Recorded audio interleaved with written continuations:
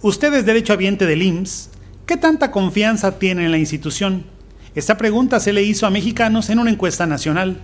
La confianza de los derechohabientes del Instituto Mexicano del Seguro Social bajó durante el año 2013. Esto de acuerdo a una encuesta realizada por Consulta Mitowski, pues en octubre del año pasado se midió en 66% la confianza, dos puntos porcentuales menos que una medición similar en el mes de febrero.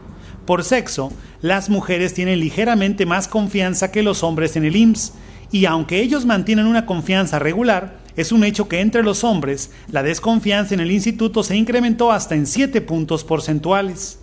Las personas mayores de 50 años son quienes más confianza tienen en el Seguro Social, pero los jóvenes menores de 29 años incrementaron de febrero a octubre el nivel de desconfianza hacia la institución.